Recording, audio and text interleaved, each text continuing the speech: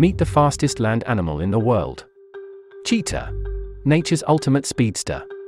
They can go from 0 to 60 miles per hour, or 97 kilometers per hour, in just 3 seconds, which is faster than Ferrari Enzo and McLaren F1. They can reach a top speed of 75 miles per hour, or 120 kilometers per hour. They can achieve this, due to their light build, long thin legs and a long tail, with the longest and most flexible spine, of any large cat species, that enables them to maximize their stride length.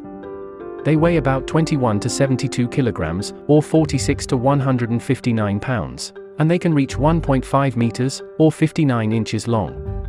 They are native to Africa and central Iran, with an estimated population to be fewer than 8,000 individuals in the wild, which has been in decline by about 50% in the last four decades due to habitat destruction, poaching, and illegal pet trade, since cheetahs are known as one of the easiest exotic animals to tame.